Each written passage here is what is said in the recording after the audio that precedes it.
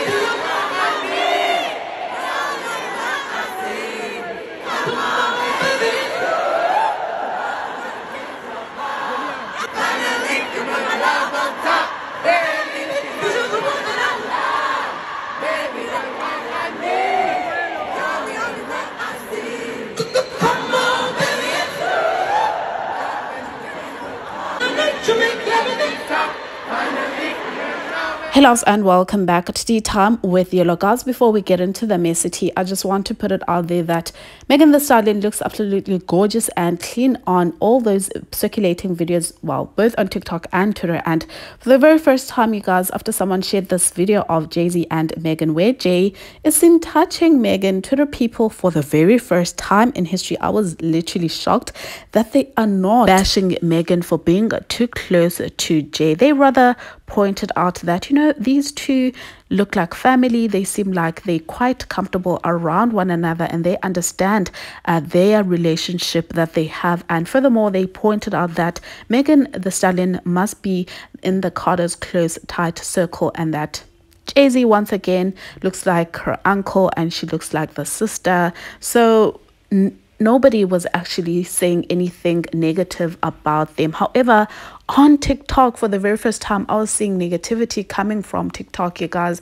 They were pointing out that, you know what, at the end of the day, Jay Z is a married man and he should never be comfortable around any other female except for Solange, who is Beyonce's sister, you guys. And unfortunately, because Jay Z is known to be a cheater and you know, has that history of cheating. People are basically saying Lemonade Part 2 might actually come out of this entire situation. Here's some of the comments which I saw from TikTok. One beehiver said, unhand her glasses, while another came forward to say, why he grabbed her wrist like that?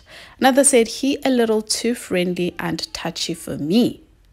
So what are you going to say at my funeral now that you've killed me, referring to Lemonade, you guys? And the last one basically say that, now Jay-Z, what are you doing, sir? I am telling uh, Solange, you guys. So what were your thoughts on uh, the videos that are circulating on Megan Thee Stallion and Jay-Z? Please do just share that with me down on the comment section like this video. And also subscribe if you have not yet done so.